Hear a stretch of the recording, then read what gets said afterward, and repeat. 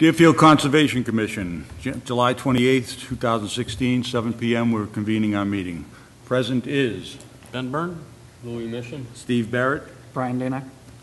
Uh, what we're going to do is we have one piece of new business on our agenda. We have a request for determination submitted by Mark Whitman and Dan, by Dan Nitschke for 67 to 73 Sugarloaf Street.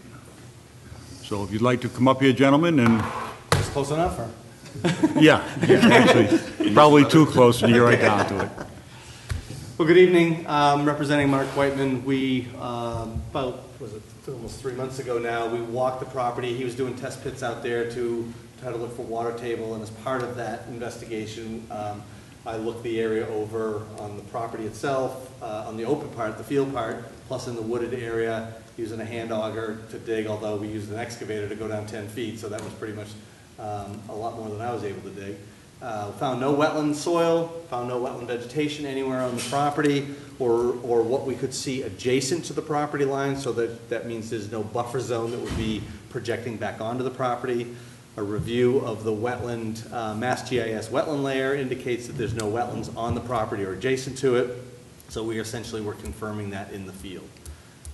So that's what we were asking for. We, in order for Mark to move forward with his, uh, his other boards and, and uh, committees he has to deal with, we figured we'd just get this out of the way, that there are no wetlands on the property, uh, or no buffer zone, no jurisdictional areas, so that's why we filed the RDA. Hello, David. Well, we did do a site visit this evening at 6:30 and walked a good deal of the property. Um, I also consulted with Mark Stinson, who is the area circuit rider for DEP, and he also confirmed that, as far as they're concerned, this is not a jurisdictional area. And the RDA that was submitted was submitted to, it requests the Deerfield Conservation Commission make the following determinations, check any that apply whether the area depicted on the plan or the maps referenced below is an area subject to jurisdiction of the Wetlands Protection Act. Um, After con- consulting with DEP, doing the site visit, and Dan, we've dealt with you many times over the years, um, we feel that, well, I am going to make a motion that we give them a negative determination that there are no wetlands issues on this particular property. So that motion before the board, what is the pleasure of the board? All second? Aye. Aye. So that would be four, Negative negative, number is there? bear with me one second there, Lou. Negative one, the area described in the request is not an area subject to protection under the Act or the buffer zone.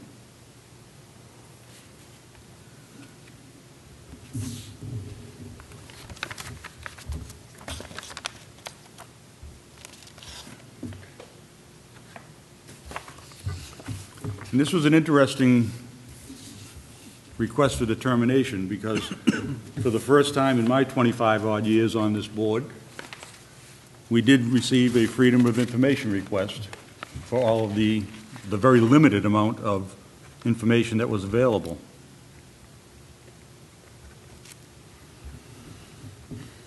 So that was kind of a, a different twist on the whole thing. Well, at least they won't have a lot to read. There was not a lot to read. I hope you did get everything that you felt, you got your copies of the request for determination? Yes, I just. Okay, good.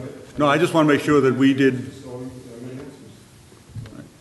Is this the proper venue, sir, to ask questions about water runoff, or should I be approaching another board with that? we have some jurisdiction, the planning board has more jurisdiction on that than we would.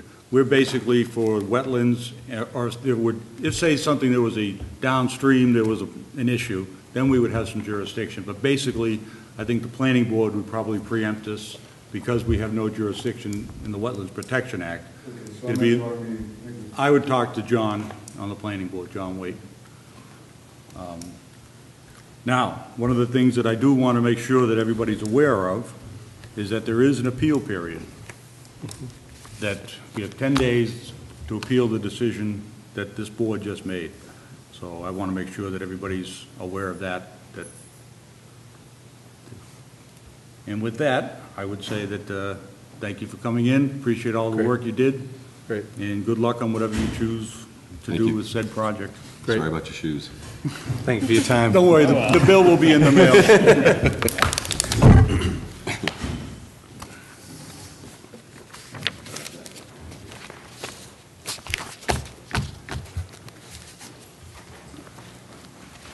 All right.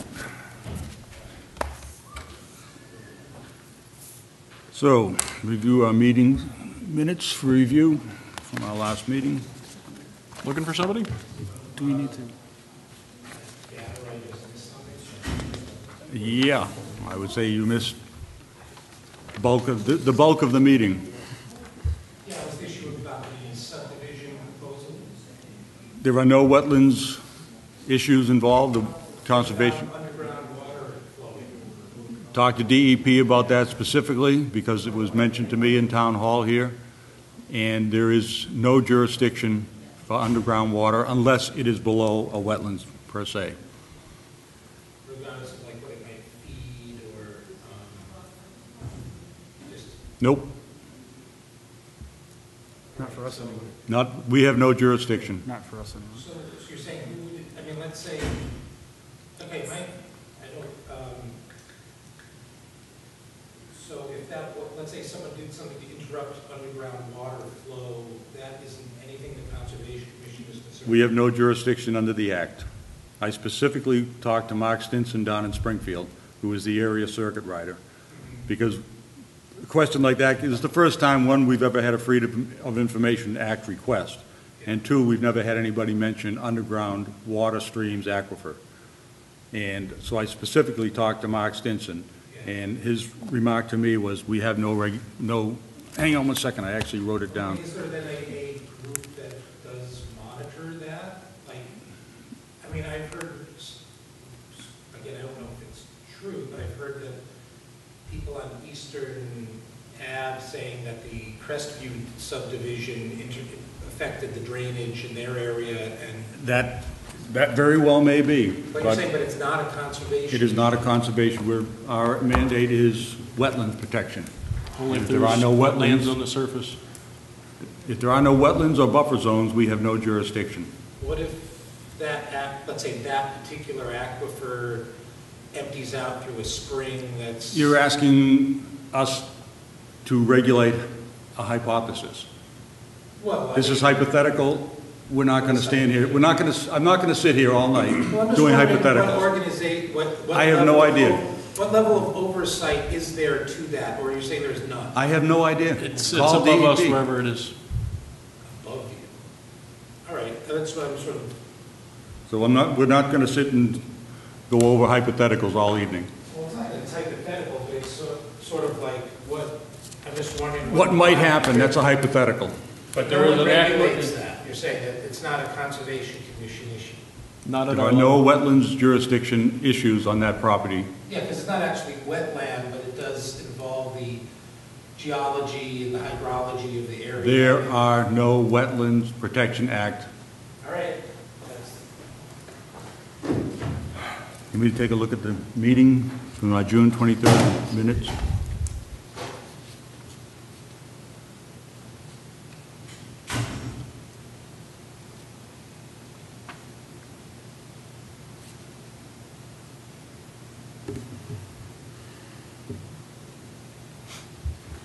Looks good to me.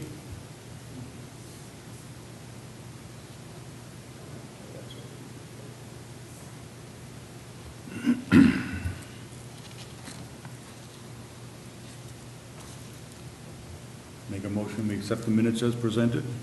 I'll second. Aye. Aye. Aye. Aye. Minutes. And check the, the mail, we'll see what we have in the mail bag. All right, we have a request for comment from the zoning board of appeals. They'll hold a public meeting on July 21st, 2016. I believe that being that today is the 28th, we could probably take this and put it into the, we've taken care of it. Um, We did have an interesting email that received from Priscilla about a complaint that was made on June 27th, titled "A Fine Way to Begin a Monday." And basically, somebody had painted on red rocks, "No trespassing" in a fluorescent paint. The owner of the property was tired of having people cut through his property, leaving trash, etc. I don't know the, the area that well. But I did present it to, again, Mark Stinson down at DEP, and his response was, painting on a stone is not typically considered a remove, fill, dredge, or alter. So we, we did handle it to make sure that we, Is it by Red Rock yeah. It's up by DA. Um, It's on the other low, lower on the road. Greenfield end of Lower Road. it- it's, uh, Do you know where towers used to live, by any chance? You know where the first White House is on the left, the big, uh. Oh, yeah. breakfast? At the end of all those fields, all the way down the end, there's a trail that goes down, and it's all red rocks, it's a popular swing, so right before you go back up the hill. Oh, okay. It's right there in that dip. And let's see, we did get an email that the Massachusetts has declared that we are in a drought situation. So that will really not cause us any issues, except if we have to, if there's any streams involved, we can't use the maps as, they- whether they're current or they're intermittent.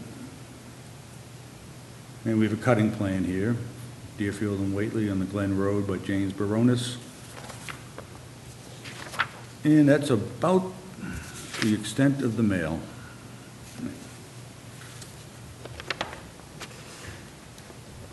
I thought this was already submitted. Uh, We have the uh, dues for fiscal 2017, $270. I'll make a motion that we ask the town to pay that uh, bill. Second? Aye. Aye. Aye. I thought we did too. I thought we did too. Well, we'll bring it back to Priscilla tomorrow. I'll put it at the top of the pile, so. Um, let's see. We have no old business. Eight And- twenty-five would be the next meeting?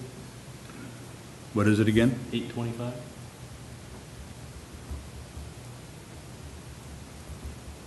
All right. And any other business not reasonably anticipated 48 hours prior to the meeting? There's nothing, anybody in the audience?